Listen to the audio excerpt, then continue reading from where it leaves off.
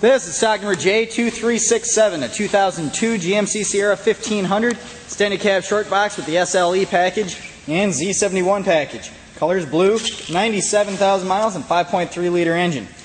These Eldorado ZTR Sport tires are very close to new.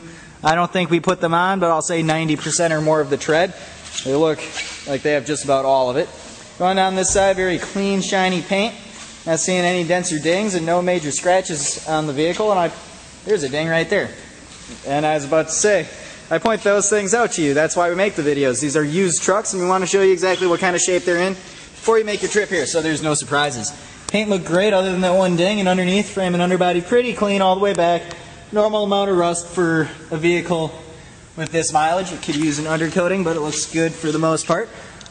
Rear tire is also very close to new. I'll say 90% or more, just like the fronts. And around back, rear bumper and tailgate look to be in good shape as well. Hitch, transmission cooler, and wiring is part of the towing package. And the bed itself, a bed mat, and we'll take a look under that. Looks like bed mat's probably been in here most of the life of the vehicle. It's pretty well protected. And down this side, very clean over here too. Not seeing any dents or dings. No scratches here either. Body's in great shape, especially considering the mileage, but looks good. Let's take a look at the interior. Power windows, locks, and mirrors. Power adjustable seat and cloth interior. Cloth's in great shape, no rips or tears and no stains, and the floors look good too. Let's take a look in the back. Very clean here too. No damage, and the floors look great as well.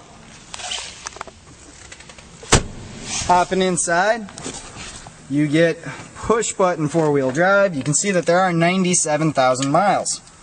Uh, climate controls, CD player, and radio. We'll fire her up and starts right up. Compass and temperature on the mirror. Headliner's in great shape all the way back. And the interior looks good. Let's take a look under the hood.